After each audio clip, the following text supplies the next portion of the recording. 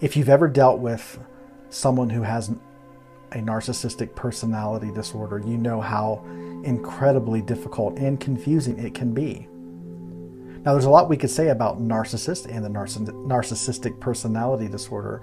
Um, there's a lot of nuance here, but one thing is pretty clear in that a narcissist has a almost a compulsive need to gain control over other people and situations.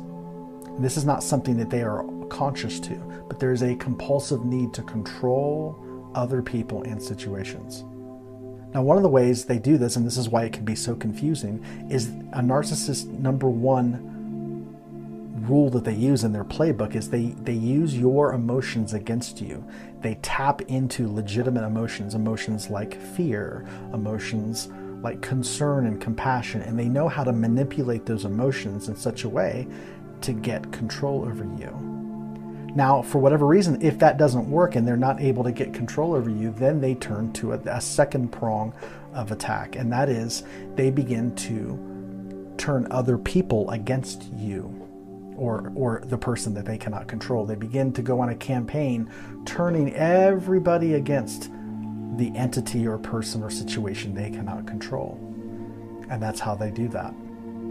Now, when you're dealing with a, uh, someone with a narcissistic personality disorder, those folks are really not interested in what's true. They're really not interested in your freedom or your sense of empowerment. They are only concerned about control and controlling you, using your own emotions.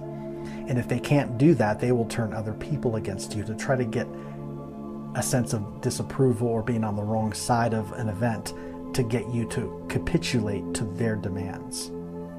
Now, typically, in order to deal with that, you need to put up very clear boundaries because there's there's no there's no sense in trying to get a narcissist to see your point of view because they're not capable.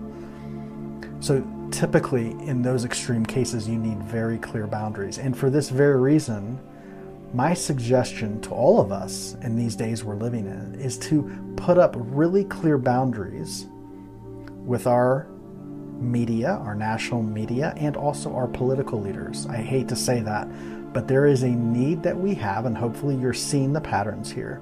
There is a very strong need that we all have to draw very clear boundaries with the narcissistic energy that we are dealing with in our national and global apparatus when it comes to media and political leaders.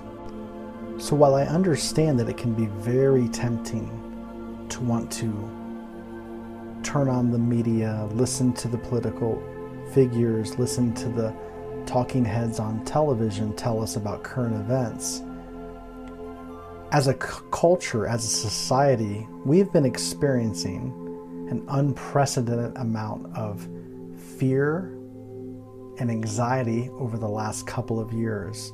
And I want to encourage you to join me in shifting your focus away from these messages of fear and drama and warfare and shift your focus back to what counts, which is your life, your sense of sovereignty and freedom that comes from an internal focus. This is the only way we can truly and effectively respond in such a way that it creates an atmosphere of peace, health, life, and well being. So let's turn the talking heads off and let's turn on our own awareness.